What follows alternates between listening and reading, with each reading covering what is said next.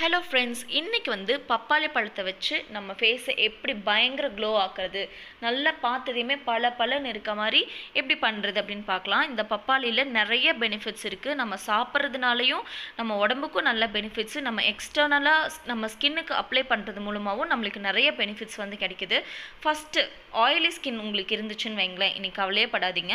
பப்பாளியை வெறும் பப்பாளி மட்டும் எடுத்துக்கலாம். வேறு எதுவுமே ஆட் பண்ண வேண்டாம். பப்பாளி பழத்தை மட்டும் எடுத்து நல்லா கூழ் மாதிரி மசிச்சுட்டு அதை நம்ம ஃபேஸில் நெக்கில் எல்லாம் அப்ளை பண்ணோன்னு வைங்களேன் உங்கள் ஆயிலி ஸ்கின் வந்துட்டு கம்மியாயிட்டே வரும்.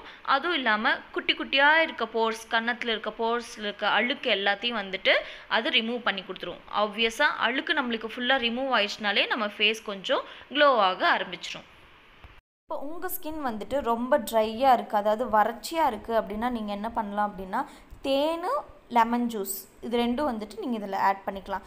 தேன் வந்து பார்த்தீங்கன்னா நம்ம ஸ்கின்னுக்கு ஒரு பெஸ்ட் மாய்ஸ்சரைசர் நல்ல ஈரப்பதத்தை வந்து தேன் கொடுக்கும் அப்படின்னு சொல்கிறாங்க ஸோ நம்ம இந்த பப்பாளி பழம் ஒரு கால் கப் பப்பாளி பழத்தை வந்து நம்ம மஸ்ட் வச்சுருக்கோம் அப்படின்னா ஹாஃப் டீஸ்பூன் தேனும் ஹாஃப் டீஸ்பூன் லெமன் ஜூஸ் இது ரெண்டையும் நம்ம மிக்ஸ் பண்ணி நம்ம நல்லா அப்ளை பண்ணிக்கணும் மசாஜ் பண்ணிக்கணும். எப்பயுமே மசாஜ் பண்ணும்போது கீழே இருந்து மேலே கொண்டு போகணும். மேலே இருந்து கீழே கொண்டு வரக்கூடாது.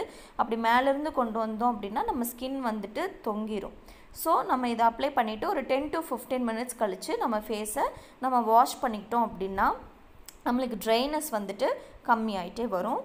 நெக்ஸ்ட் வந்து நம்ம பப்பாளி பழத்து கூட கற்றாழை ஜெல்லை வந்துட்டு மிக்ஸ் பண்ணி ஃபேஸ் பேக் போடணும்.